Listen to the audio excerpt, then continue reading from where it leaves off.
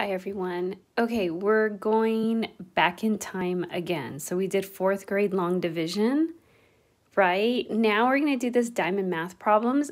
Honestly, I don't know when you did this. Multiplication tables was much early, maybe, oh gosh, like fourth grade? I don't know, it seems like everything's like fourth, third grade.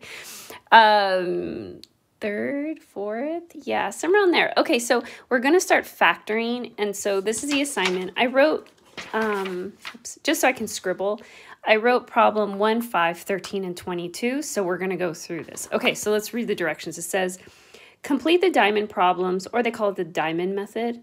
The top cell contains the product of the numbers in the left and right cells, while the bottom cell contains a sum. Okay, what does that mean?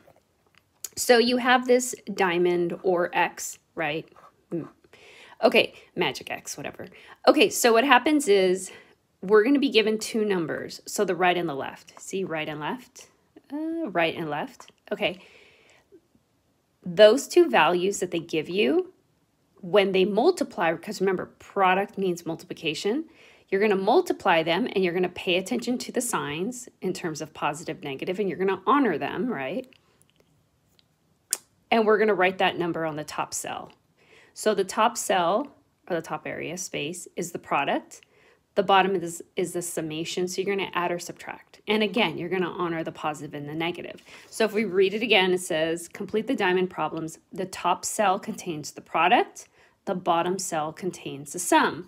Okay, and then 13 and 14, they kind of put them in, they give you numbers, and you're going to try and figure it out. So you need to know your multiplication table. Okay, this helps with factoring, by the way. All right. Okay, so here we go. They give me positive 11 and negative 1. Okay, so what's the product of those two numbers? Okay, well, what's positive 11 times negative 1? It's negative 11. So that's my product. Whoops, move my finger. That's my product.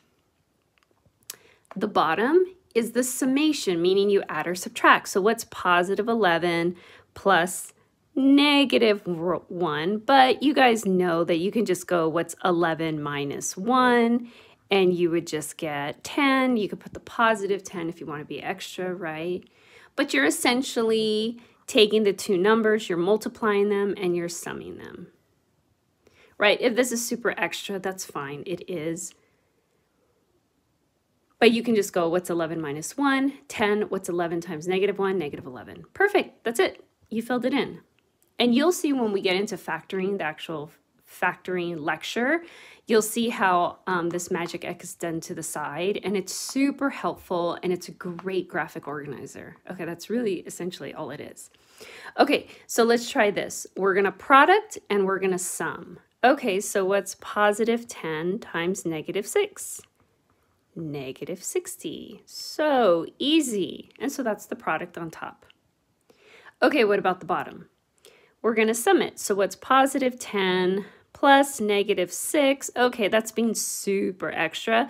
What's 10 take away 6? Positive 4, right? What's 10 minus 6? 4.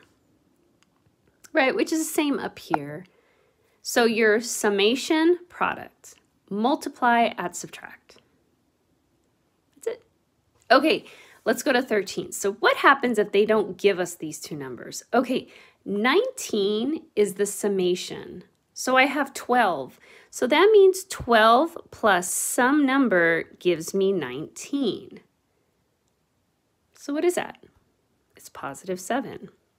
12 plus 7 gives me 19. Or you can say, what's 19 minus 12? 7. Okay, so now find the product. What is 12 times 7? 94? 84. Ooh, that was bad. Positive 84. And there you go. So you may ask to be told. Okay, so here we go. Here's um, here's 20 and here's 9. Okay, they gave us the product and they gave us a summation. Okay, so now let's try and work with 20. Remember, this is a product, meaning two numbers got multiplied together and gave me 20. Okay, so let's think of all our possibilities. And this is where factoring, and this is the way factoring comes, by the way. You're going to be given these two, and you have to come up with here. So this is a perfect bleed into factoring. Okay, well, how do you come up with 20? Right, meaning we're going to come up with all two numbers, combinations that give us 20. 1 times 20, 2 times, ah, 2 times 10, sorry. 3, no, 4 times 5, 6, 7, 8, 9, I'm back at 10. Okay, so these are all the possibilities of coming up with a product of 20. Okay, one of these is the winner. Okay, so which one? Well, you have 9. It needs to sum to 9. Okay, so this is where you start looking at your symbols. 20 is positive. So in order for 20 to be positive, they're either both positive or they're both negative. Well, 9 is positive, so both of these values are going to be positive, which means I'm, I'm really, really going to add here. Okay, so what's 1 plus 20? 21? Nope. What's 2 plus 10? 12? Nope. What's 4 plus 5? 9 and there's my winner. And so this is 4 and 5 and again if you did 5 4 it doesn't matter. Okay. That is the diamond method. That's what this worksheet is covering. Okay? All right. I'll end it. Bye guys